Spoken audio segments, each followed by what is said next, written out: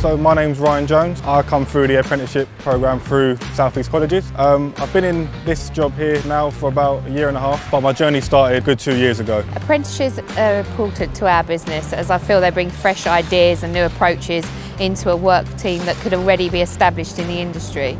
I also feel they make people stop take time, look at what they're doing in terms of training the apprentices and how we can look at things differently. I've managed to get multiple qualifications. I'm currently undergoing an NVQ level 4. With this and Southeast Colleges getting to me where I am now, I can't be more grateful enough. London South East Colleges, they really helped me through the interview processes, got me ready to get my job.